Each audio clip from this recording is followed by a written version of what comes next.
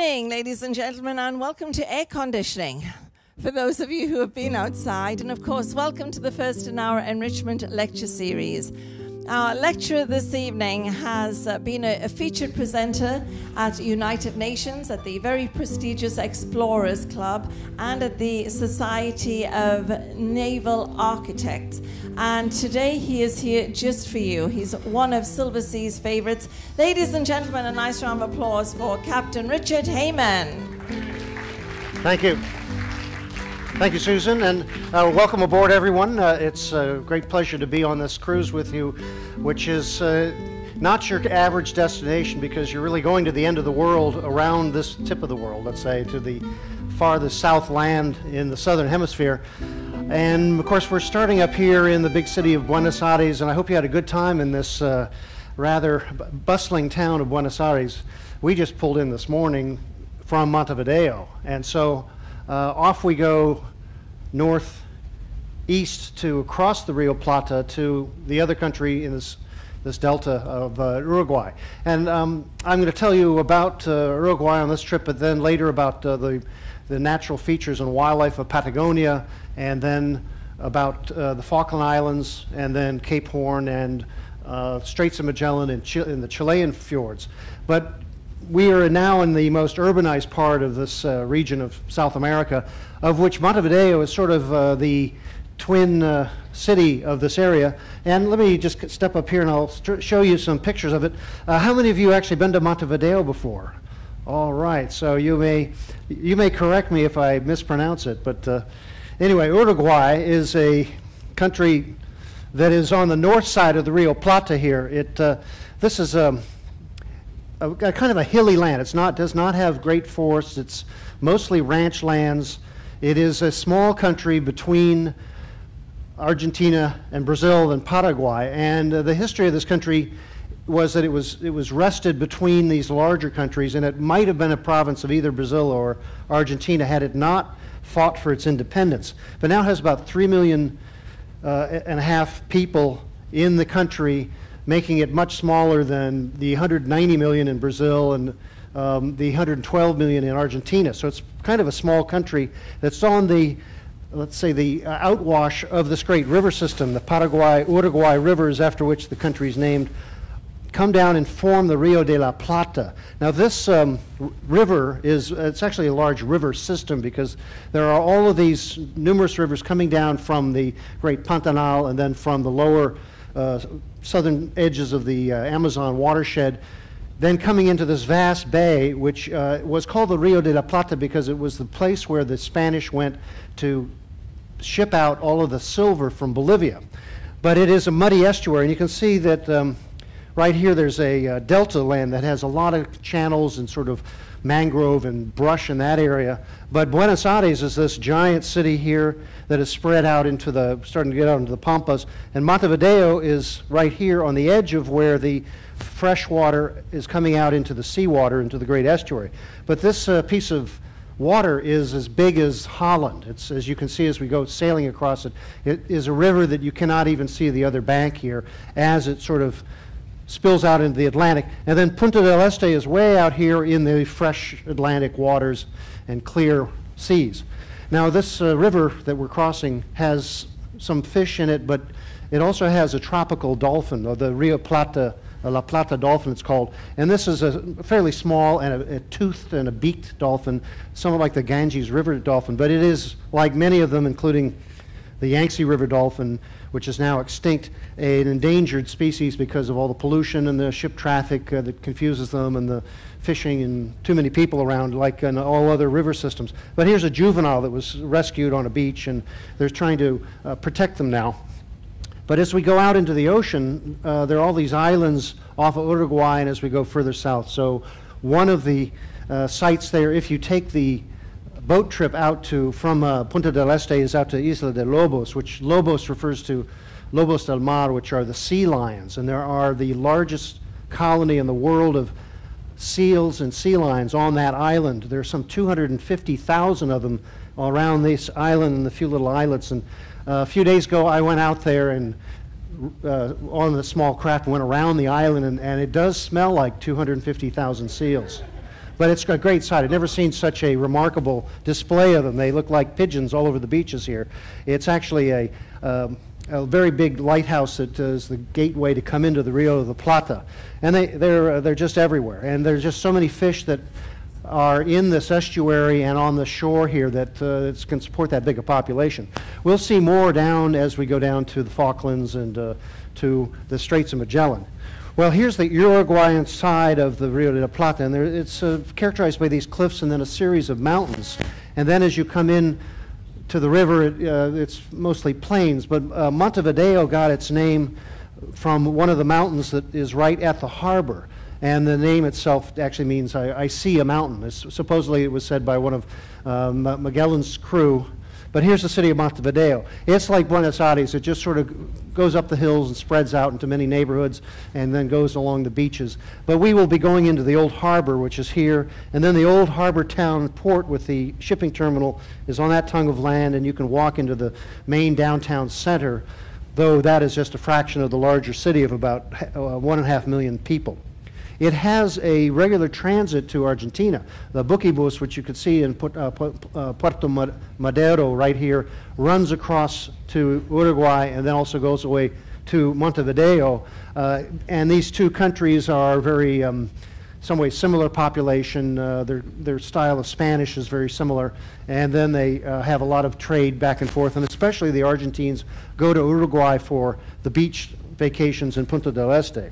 Now, this is the mountain of the Monte, or the hill that Montevideo uh, has, and this is a, just a little view of the, uh, the harbor as we'll come in. And note uh, it's a very narrow gap. Sometimes the Rio Plata has uh, winter storms and has a very big chop in it, so all of these harbors have breakwaters. But this one has an old steam tugboat sitting on its breakwater just in case uh, we need an extra push to get in or out. And uh, it's also very tidal, so you'll notice at the dock when we're in there, uh, just, just yesterday the tide was very low because of the full moon lately, and there are all these beautiful old wrecks along the uh, breakwater. Not of any ship I've ever driven, though, I assure you.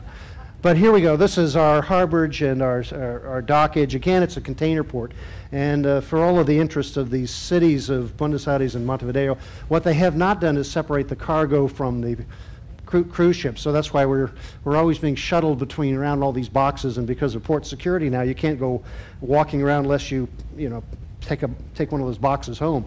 But uh, then you get off into this big terminal, which is the standard landing for all these um, decades, because Montevideo, like Buenos Aires, back in the days when you only could get here by ship, this was a big deal to arrive finally in this part of the world, South America. And then we'll go out through there and then into the old town. Now, this is a fairly compact walking town, um, a lot more convenient than uh, Buenos Aires. It doesn't have all those uh, grand boulevards and great seas of traffic in the way of uh, walking off the, off the pier. And so in the Ciudad Vieja, the old town, we, you can walk to the port market, which I recommend, and then up to the two squares, Plaza de la Constitucion and then the Independence Plaza.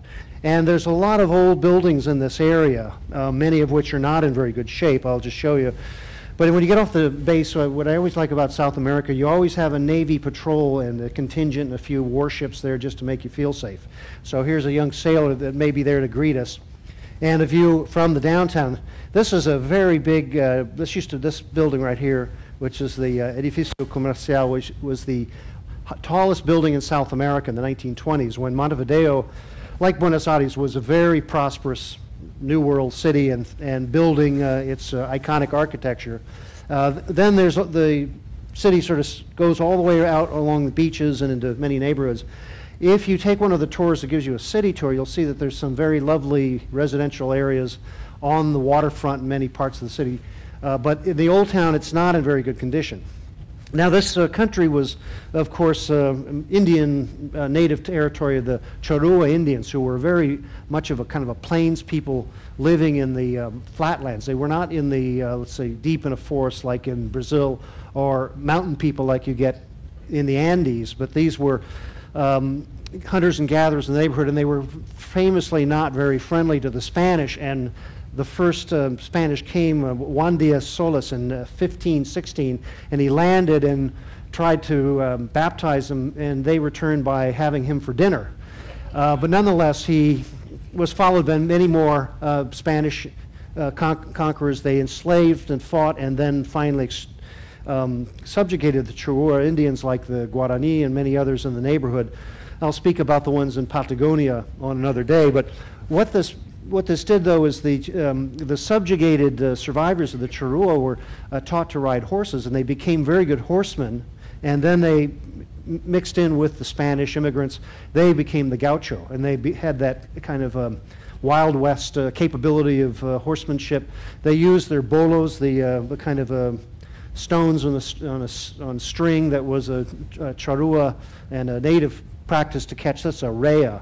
Uh, and uh, that's still a gaucho quality. And so um, in the countryside in Uruguay and also in the pampas of Argentina, this is sort of the, the cowboy tradition that is still uh, very much vaunted with a lot of uh, music and poetry and literature about the independence and the strength of these uh, cattle, vaqueros in Spanish, but they're really gauchos is a, is a native Indian word for this in Argentina and in Uruguay.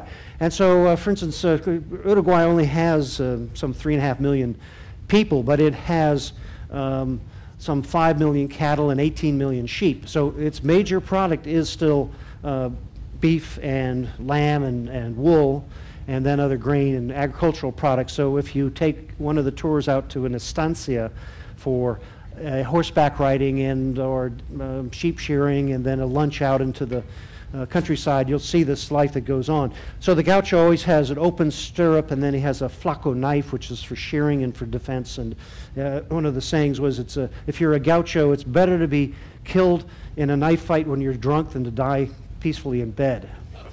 That's the way you ought to go, but not, not allowed on, on this ship. So you have a lot of horsemanship, and then this is uh, oh, well, it's a typical tradition, Spanish also, of course, the original origin, but they have um, what they call Semana Criollas, which are the um, displays of the countryside skills that they have in uh, exhibitions and rodeos in Montevideo City every year, and this becomes a competitive rodeo uh, like you have in the, the North American uh, plains. And so I've, I've seen some of these uh, great quarter horses, cutting cattle, and then roping them. It's, it's done differently than in uh, North America, but it's still a great uh, uh, art of the equestrian kind. And this young kid is training with training wheels in the city, but this is, this is right downtown. He, he doesn't really get a horse yet, but that's the monument to the gaucho in old Montevideo. And they even have uh, caravans with gauchos that I don't know if if the gauchos live with their horse in this or the horse pulls them around town. But this was, again, right downtown Montevideo. Another thing you'll see here, you may have, you may have already seen it in Argentina, but it's really in Uruguay, this uh, yerba mate, the tea that they drink, which is in a cup.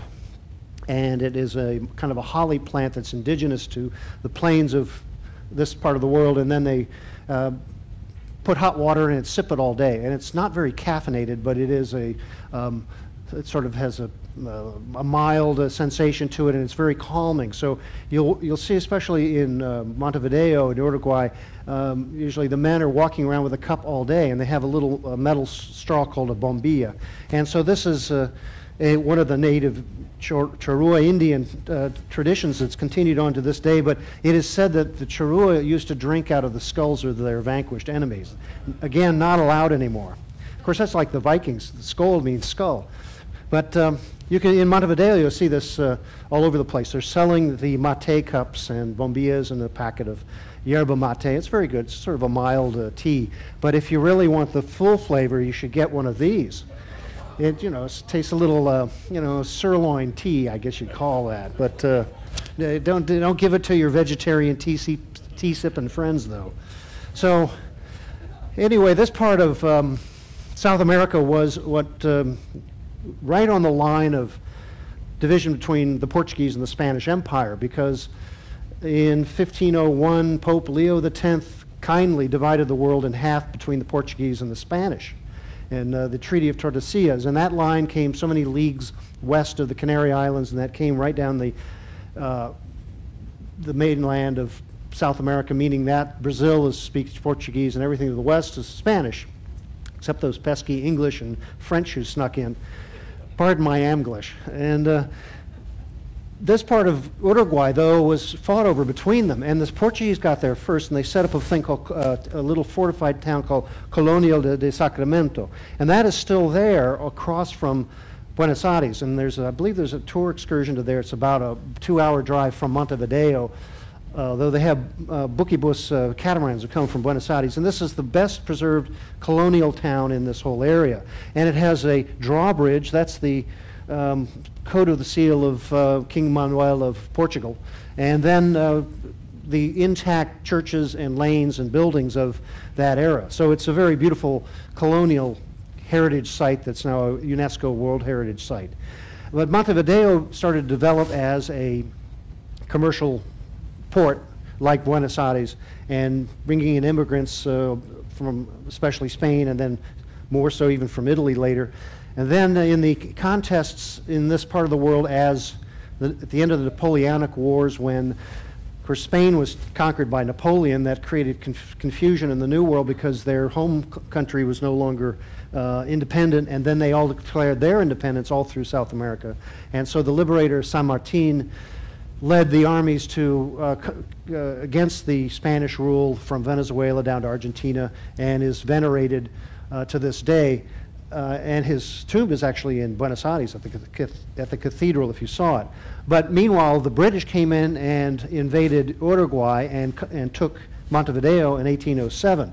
And this is fondly remembered by the Uruguayans because this meant that the uh, Argentines didn't control Uruguay, and then later Uruguay formed an alliance with the British to maintain their independence and not be conquered by those Argentines across the river.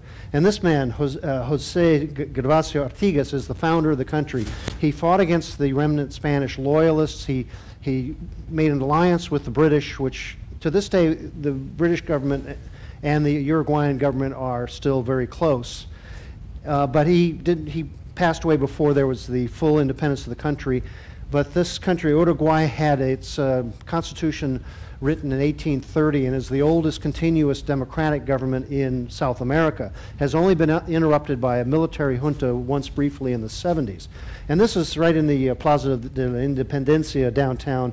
I, if you're walking around there in this great plaza, I recommend going and looking in. They have a very small museum in that building that's just uh, open to the public, and it has uh, many a uniform and a sword in it, let's say. But you can get a flavor for the feeling of the Uruguayans that they would otherwise not be an independent country had they not had this uh, initiation of their nation as independent and, let's say, compact and small. And sometimes uh, countries that are not that large get along better with, within themselves and don't have the troubles of larger nations. Now, I live in that, that big thing in the north called United States, and I, I have no opinion about the size of my country.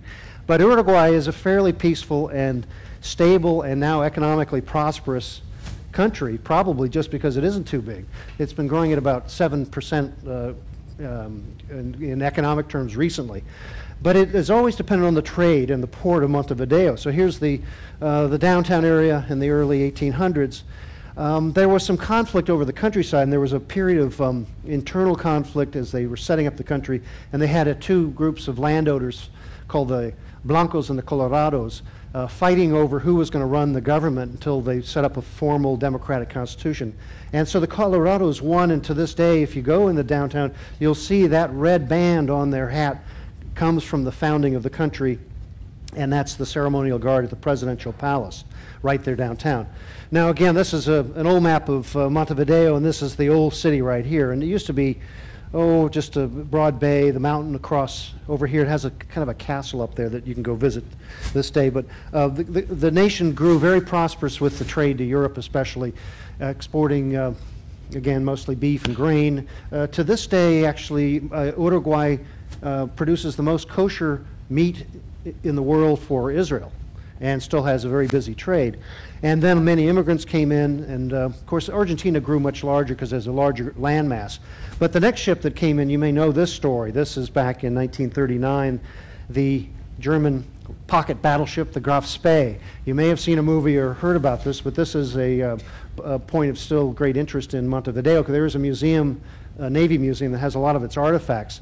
And I'll, I'll just tell you this uh, history in short. When uh, after the Treaty of Versailles, the Germans were not allowed to build ships of over a certain tonnage.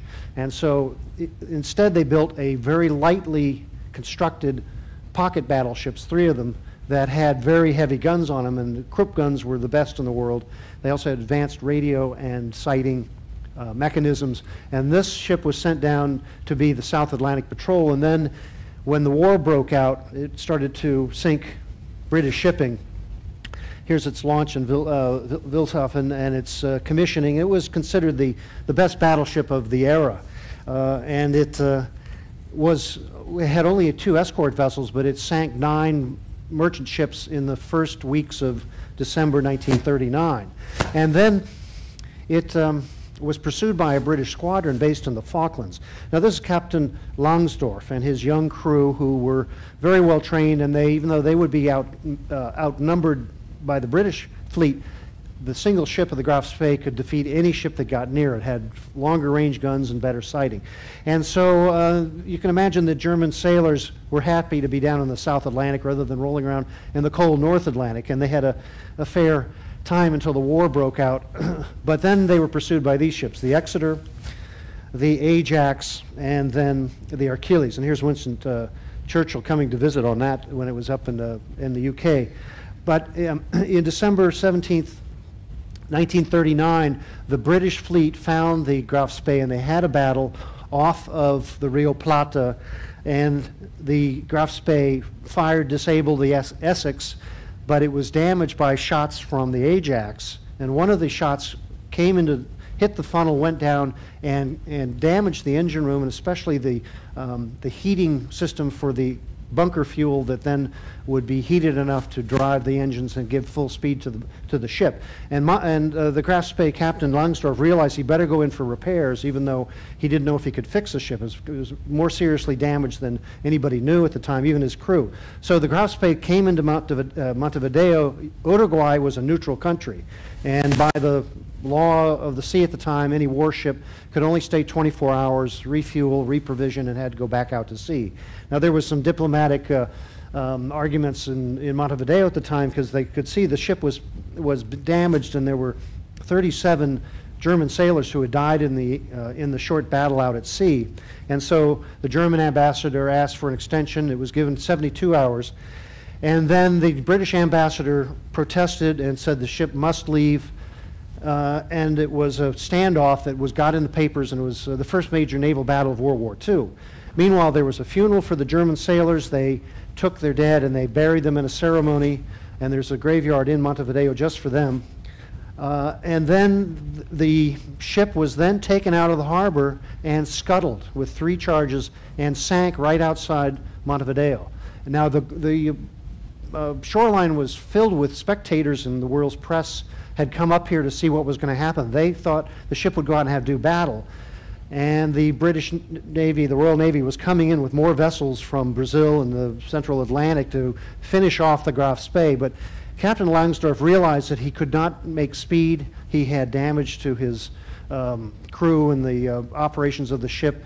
And then he kept uh, most of his uh, crew on shore he went out with the ship with a skeleton crew, laid the charges, got off, and the thing sank in the mud, and then it rested above water for quite a while, and then it slowly has been sinking ever since into the mud of the river. And this uh, was a great shock to the uh, German Navy, of course. This was one of their greatest ships, and suddenly it was not there anymore. And it's still to this day not known whether Langsdorff got orders to scuttle the ship or he felt that he had to because otherwise he would lose it at sea in battle and lose a thousand or so of his crew. But especially, he did not want the British to capture the ship and then have access to its uh, advanced uh, sighting and other communications equipment. So there it settled down in the mud, and Langsdorff went to Buenos Aires, and the crew were given permission to live uh, in, in uh, Argentina for the rest of the year for the rest of the war. They, they, they, did not go back to fight in the north. And some have said that Langsdorff actually did not like this war. He did, was not a member of the Nazi Party. He thought that it was a crazy idea, perhaps, and he wrapped himself in the Navy flag and, and, and killed himself at an office at the uh, German embassy in Buenos Aires. And so to this day, though, he has a um, contingent of Germans who live in Argentina who still venerate him for his decision. Of course, had he gone back to Berlin, he might have been punished or sent off to worse battles. And his sailor crew that lived and stayed in Buenos Aires in their own neighborhood um, met until perhaps even there now, there may be still some that have an annual reunion and they still venerate um, uh, Captain Langsdorff. This became, of course, uh, big news around the world in a film, and uh, I guess who is that played it? Anthony Quayle I don't, and Peter Finch. I don't know how good their German is. Mine ist nicht so gut. But now the ship is still there, and it is marked on the charts. It has been settled down, and um, I have a, a colleague who's a hydrological engineer, and he proposed that a caisson be put around it and there be clarifying of the water and it be available for glass bottom boats to go out and visit it and make it a, a not a scuba dive but a, a viewable site because it's only in seven meters of water and you can look down on it if you could get near it but it has uh, been uh, somewhat salvaged by the, uh, the Uruguayan Navy with the, the, pla- the bow plaque and then the conning tower and other artifacts, telephones and different things have come, come up and there's the anchor for the Graf Spee right off the dock. When you get off and go to the entrance at the uh, Montevideo Pier, you can see it, and also the great sighting range for the guns are, is up and restored now.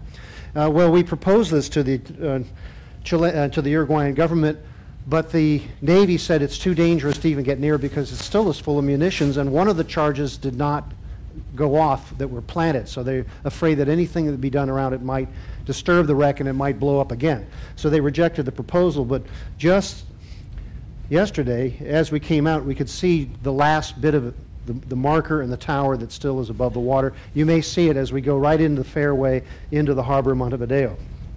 And some of the guns are off, and there's the Naval Museum that has uh, some artifacts. But nowadays the waters are peaceful, and it's uh, fortunately the terrible wars is just history, even though it's an interesting story. But Montevideo as a port, of course, is a very busy place. You'll see it's like Buenos Aires. The economy is actually fairly good around here. You could walk off into the old port, which is uh, typically of some of these old ports, uh, not exactly the, the most charming part of town, especially in the evening. And so many a sailor got into trouble. Not me, I assure you. I've never gotten any trouble anywhere. But if you walk off in the daytime, I don't recommend it late at night. You can go to the port market, which has been restored, and there's this beautiful um, iron building of 100 or so years ago with uh, restaurants and shops and uh, an open air market, and that's actually a very charming part of the town. Uh, of course, what they feature are uh, um, uh, meat appetizers, uh, meat dishes, and more meat for dessert in the local style. So they have open grill asado where they are grilling, grilling everything up for you.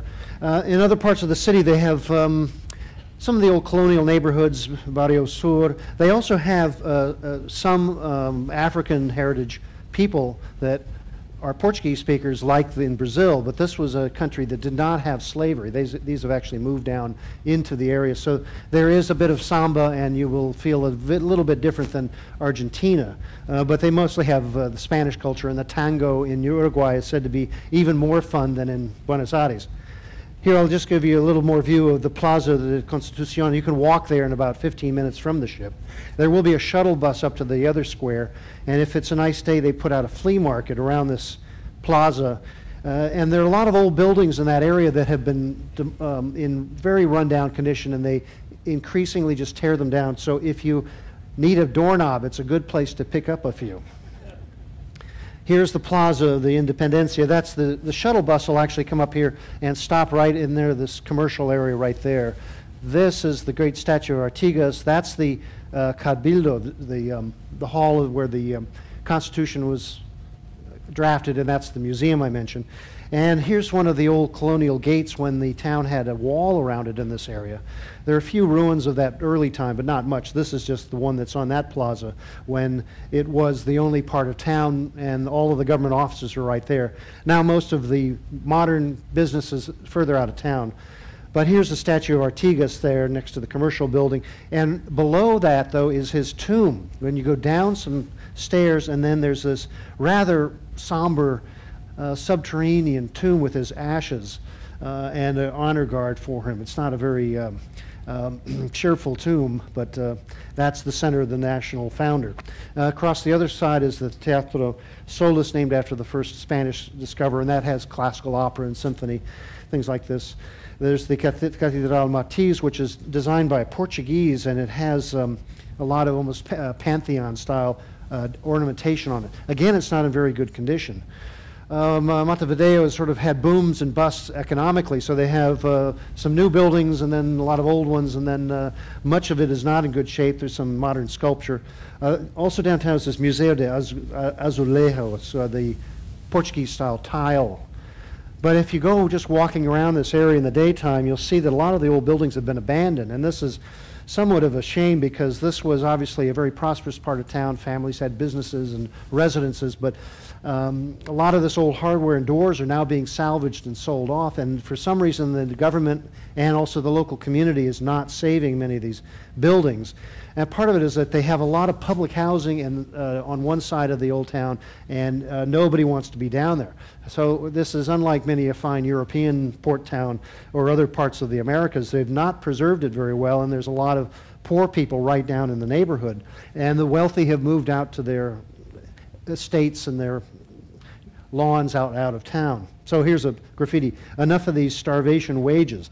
Well, actually, uh, Uruguay is doing better than, than uh, Argentina these days. But here's another house that was just torn down. It says muy triste. Very sad that uh, they made a parking lot out of an old house there. There is some money that came from the EU and Spain, though, to restore some of the major landmarks. So you'll see some things are getting fixed while other things are falling down.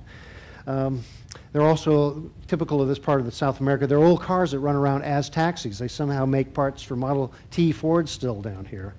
And so you'll see these around town. That's sort of a pride of this area. They keep these things going, partly because the weather's so good. Uh, and then I'm going to finish up by showing you a bit of Punta del Este, because the next day we'll go down the coast to this famous resort, which is sort of like the Miami Beach of South America. And at the height of summer now, when schools are out, it is full of people. And this is a, a point of land that is out to the eastern part of the sea with a lighthouse again that uh, calls ships into the, the great uh, delta of the Rio Plata. And all of the houses around the lighthouse have stayed family low buildings while everything else is getting built up into high condos. So if you have a chance with the, the ship will anchor, will have a tender, and then you can just walk around that neighborhood right at the tip, and it's actually very lovely right down there. Most of the beach and the crowd are up further out uh, up, up the shore a bit. There's this big marina, so there's a lot of boats here now this time of year. And just the other day, we had private vessels being our tenders so that they'd have more of them available, running constantly back and forth. And uh, check your schedule to see how long we're there. Uh, when we were there the other day, we were there till 10 in the evening, so you could have dinner ashore. And if that's the sailing schedule, that's uh, something to do there. You'll see the uh, nightlife as it is just waking up and of course, we'll sail away before you get into trouble. Here's the seaside, which is, has Atlantic surf rolling. On the riverside, uh, it is much uh, calmer, and so that's where many of the beaches are. And uh, you'll see the full display of the, of the wildlife of Argentina that is up there. Now, the Uruguayans uh, host a lot of Brazilians, a lot of Argentines who come there because they have uh, casinos in Uruguay.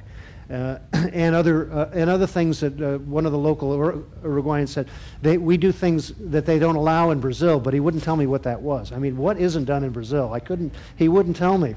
But um, anyway, there's a lot of families there this time. A lot of kids running around, and then there's some.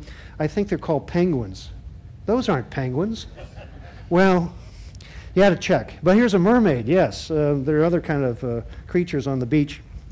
So Punta del Este is sort of a a fun place, and if you have enough fun, you get a free baby carriage.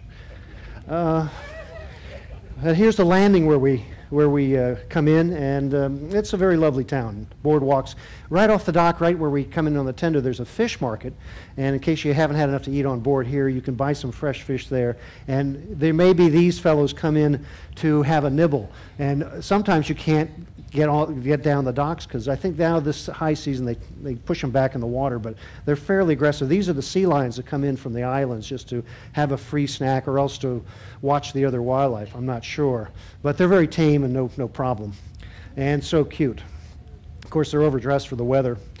Most of these visitors, though, are in big hotels and big um, condos. Uh, it's become a very prosperous town, Punta del Este, because of the prosperity of certain parts of uh, South America. Now a lot of Brazilians come down there, but it's mostly Argentines, and then people come from around the world to this resort area. But uh, um, it's boomed, especially since, if you know, 2007, the Argentine government defaulted on 100 some billion dollars in national debt to international banks, and so they could build more resorts in Punta del Este, I think. But uh, I don't know if it happened in this building. There's a story uh, that happened a couple of years ago where a Brazilian couple came down to have a good time in Punta del Este, and the man went out for a drink. He came back, found his girlfriend in bed with another man, and picked her up in a fit, stark naked, threw her out the window, 15 stories. And she was screaming and flailing, and a photographer took a picture of her, and it ended up on the front cover of the local paper, The Flying Brazilian. And of course, she fell to her death, sadly.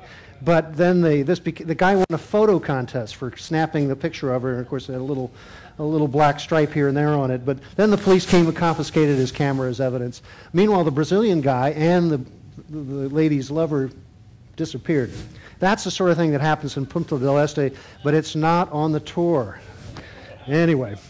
But it's a beautiful town, and we'll have a good time there. I, again, I recommend walking in the neighborhood because you get to feel what this place was like when it was just a pleasant end of the world without a big crowd. There's some unusual houses. This is sort of Uruguayan Gre- Grecian style, I'd call this. And if you uh, go on the outside to Maldonado tour, there is a fantastic building called Casa Pueblo that was uh, built by an artist named Carlos Paez Vilaro in 1960. And it, is, it keeps building out as a sort of cascading sets of terraces and uh, swimming pools, and it's open to the public as an architectural monument, but also you can buy a unit if you like. And it's a very unusual building for this area, amongst many others along the coast. So Punta del Este is a very beautiful resort in this uh, unusual part of the world. Enjoy the beach while we can, because as we go south, it tends to get cooler. Uh, and um, even in the warm and sunny Falkland Islands, they don't quite have the same kind of uh, uh, wildlife as they do in Punta del Este. Now, this is a, the famous sculpture El Mano by a Chilean artist that is right on the Atlantic side beach. And um, as I'm going to finish here, as you see this, and read a bit from a poem uh, by my, um, my favorite uh, poet Pablo Neruda, No me hagan caso, don't, don't make, a, make a deal or forget about me. And he says, Among the things that the sea tosses up, let us hunt for the most purified, the claws of crabs, the skulls of fish, the smooth syllables of wood, small countries of mother of pearl. Let us look for what the sea undid, insistently, carelessly, what it broke up and abandoned and left behind for us. Let us look for secret things somewhere in the world, on the blue shore of silence, or where the storm has passed. There, the faint signs are left coins of time and water, debris, celestial ash, and the irreplaceable rapture of sharing in the labors of solitude and the sand. And I wish you a good trip in Uruguay, and I look forward to this cruise with you. And